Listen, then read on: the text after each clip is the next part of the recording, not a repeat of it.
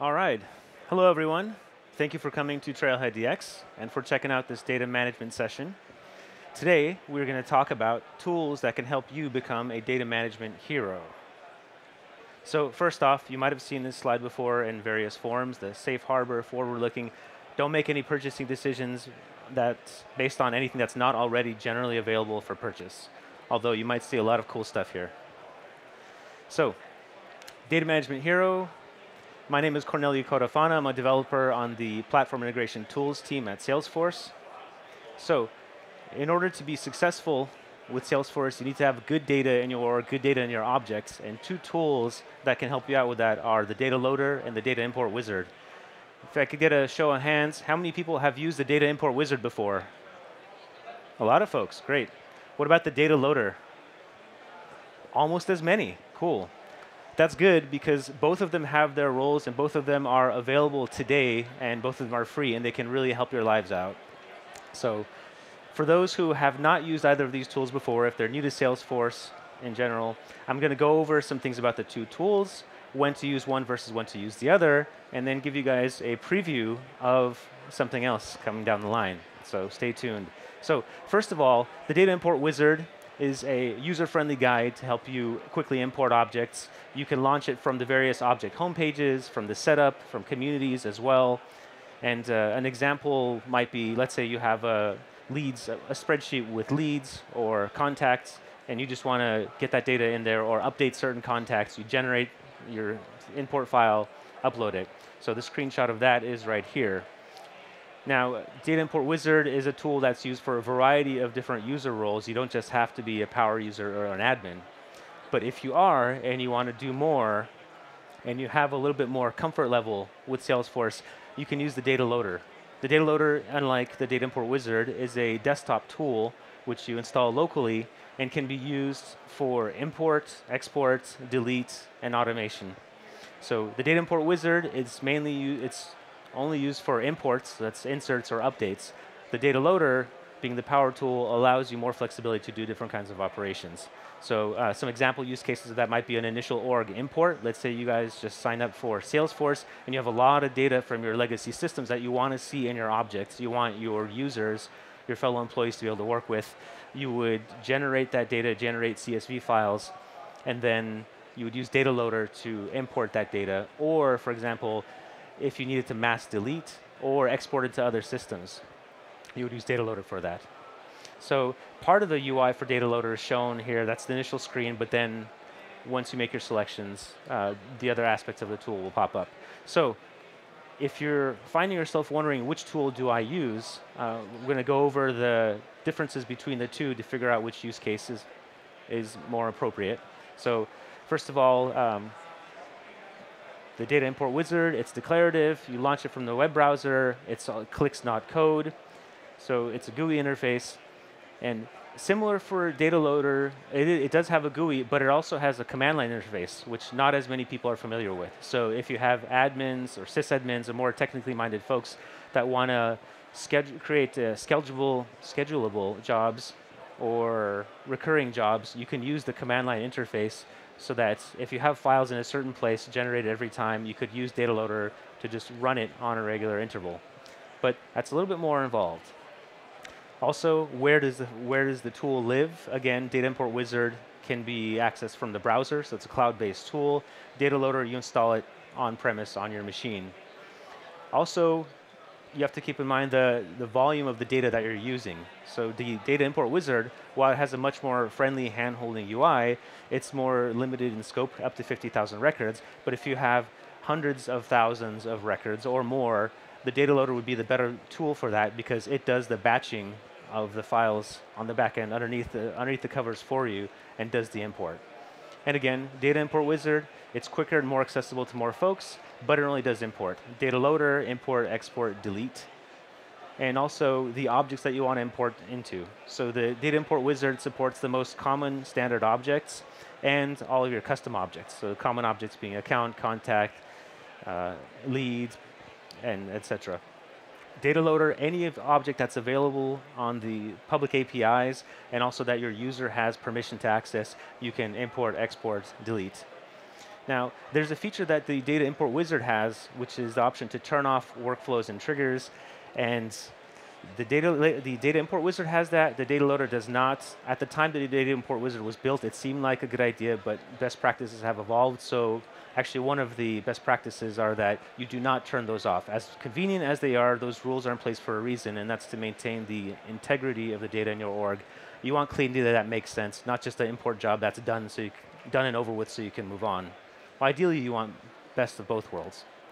And also the ability to save your mapping. One of the important steps and a necessary step on any data import is mapping from your spreadsheet, the column headers you have, to the fields in the object or objects that you're importing into. And that can be really tedious for spreadsheets with lots of columns and objects that have lots of fields. So the data import wizard does not let you save that mapping, but the data loader does. So the next time you do an import, instead of going through that process again, you can just point to the import file, the mapping file, and it'll pre-populate that for you.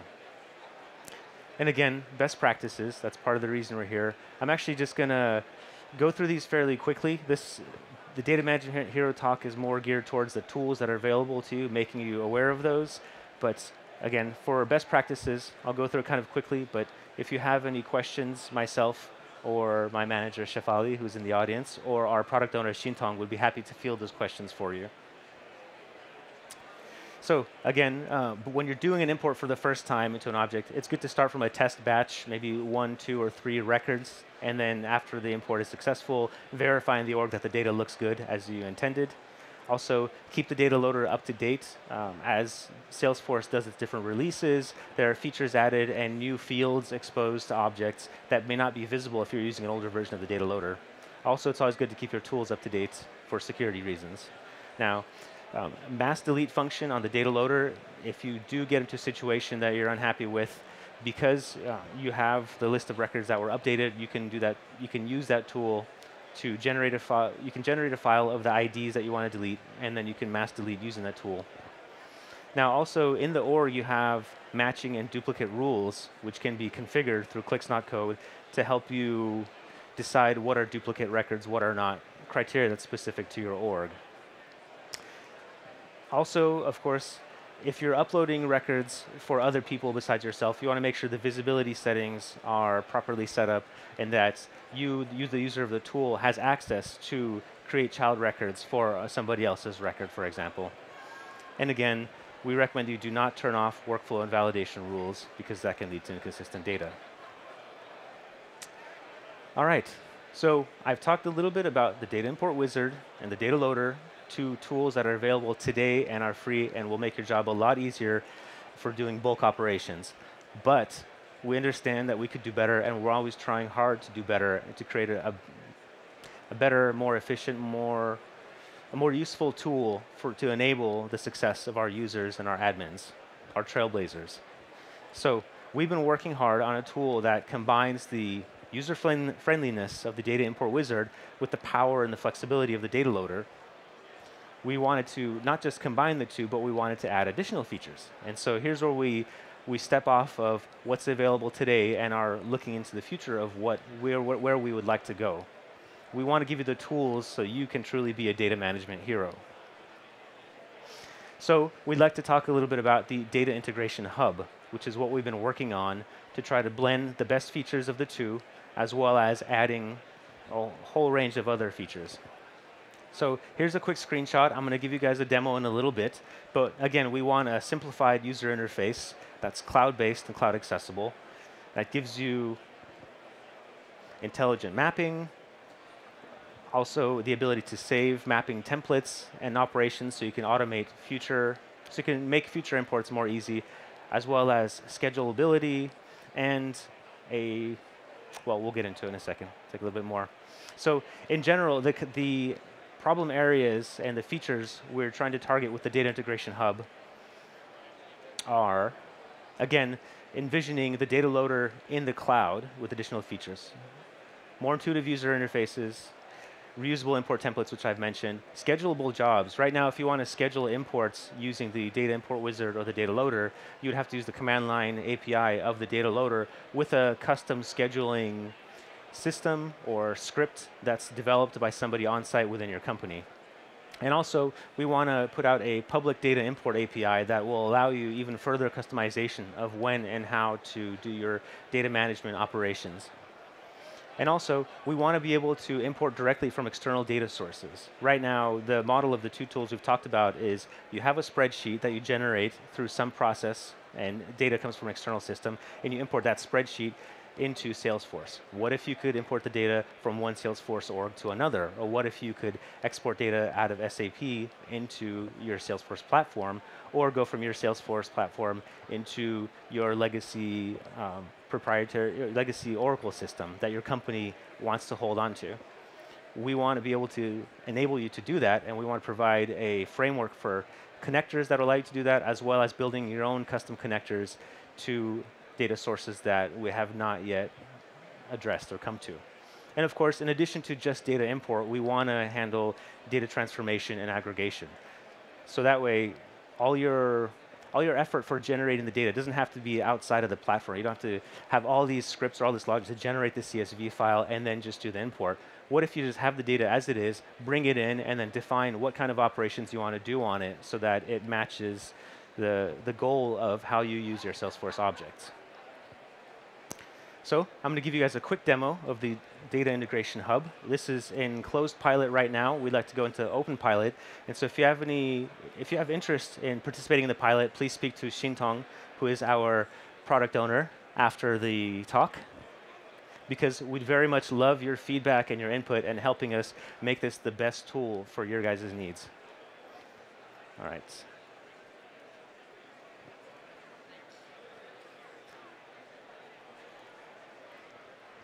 Let me see if I can make this a little bigger. Okay, so this is the development version of the Data Integration Hub. So I'm going to log in using OAuth to my org.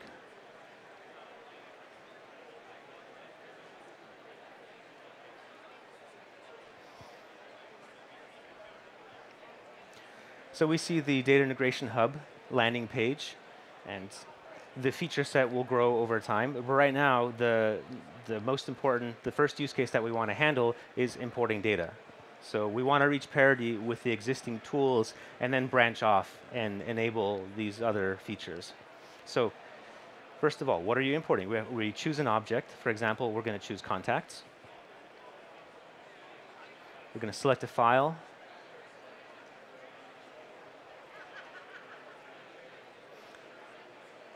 and we have the import mapping screen. So right now, the mapping is not done for you, but that's next steps, auto mapping, intelligent auto mapping. So we have a field on our contact object, our target object called last name, and these right here on the left-hand side are the columns in our CSV, Trailhead DX CSV. So I'm going to choose last name for the mapping here, and I'm going to check, is this really what I want? So on the right-hand column over here, you have sample values that you could scroll through. These are values in the file and I say, okay, yeah, that makes sense. And what am I going to map first name to? Well, I think, do I have a first name here? Well, let's search. So I should take a step back and show you, tell you something about the UI first of all. We're showing you the CSV, the input file columns here, and in the middle column are the fields on the object you're going to import into. And then on the right hand, we have the sample values as we've already seen. So you can choose you can choose the target object, and also you can map one CSV column to multiple Salesforce object fields. So let's do, we'll stick with description. That description right here, we have contact description. I think this is good enough to import right now. Again, looking through our samples, looks good. If you have a very long uh, list of fields in your contact object or a lot of columns in your CSV file, you can use various filters, for example, the required fields, the unmapped fields, or all fields to help you narrow down the range of fields that you actually want to act upon and skip the ones that you don't care about. And again, you can search also by name to subset and filter to find what you need. So once the mapping step is ready, we're going to go ahead and do an import. So we click import. Your import has started. Great. So if you want to see the uh, bulk job for your job, you can click on this link, and if you have the access to it, you can view the bulk API job that was kicked off behind the scenes for the contact object, the number of records processed. And if you don't have access to it, you can at least copy this ID and give it to your admin if there's any problem with the job. So I did all this work to do the import mapping, the mapping of the fields. I don't want to have to do this every time. So I want to save this as a template. So you click Save, give it a name.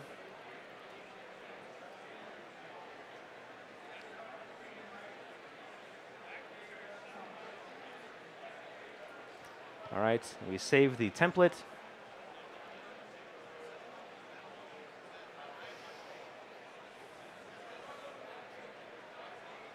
We hang out for a minute. This might be the network connection here. And the wizard is done, but now if we go to templates, and you if I have another similar file that I get and I want to do the same import, well, I find my import template over here, and I say use template to do the import. And so you start again from the template that we saved. Let's say if we were choosing another file, in this case I'll use the same one, we should see the mappings that we selected before pre-populated and we do. So that's it for just a taste of the demo for the Data Integration Hub. Again, this is very early stages, but we're very excited about the features we're going to add, and we would love to have your voice helping us guide us to which areas to tackle first. So let me jump back to my slides really quickly.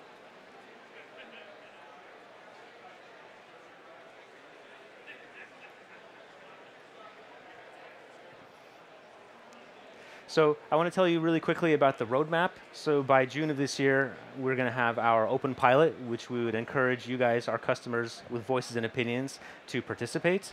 And we're going to have the end-to-end import, reusable, Im reusable templates that you saw, the public data import API, and also job monitoring. And for Dreamforce, our target is to have import job scheduling to make that easier so you don't have to use ad hoc systems outside of Salesforce as well as importing data from at least one additional data source, and using Bulk API v2, which has a lot of optimizations. Right now it's using Bulk API v1, just like the data loader and the data import wizard. And beyond Dreamforce, we have the vision for the connector framework to be able to access even more data sources as inputs and outputs, and also capabilities to drag and drop clicks not code, data transformation, and aggregation. So thank you very much for your time and your attention. There are a lot of other sessions here, so I encourage you to check them out. And again, if you're interested in the Data Integration Hub pilot, please speak to Xintong Jiang or Shefali, my manager here. And if you guys have any questions, feel free to raise your hand. We can pass the mic around. We have two minutes or so for questions. I think we have a question over here.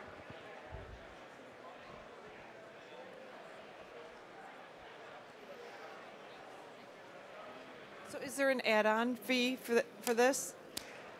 It's a very good question, which I do not have the answer to, as I'm just building it, helping so, to build it. And this, with like the MuleSoft acquisition, is this kind of in that same vein, or is this kind of making a bridge? Or it's also a very good question, but because the announcement and the deal is so new, unfortunately, I can't answer anything. If you want to, if you're not familiar with MuleSoft and you want to learn more, we I think we do have a booth here as well as a press area. But thank you for your question.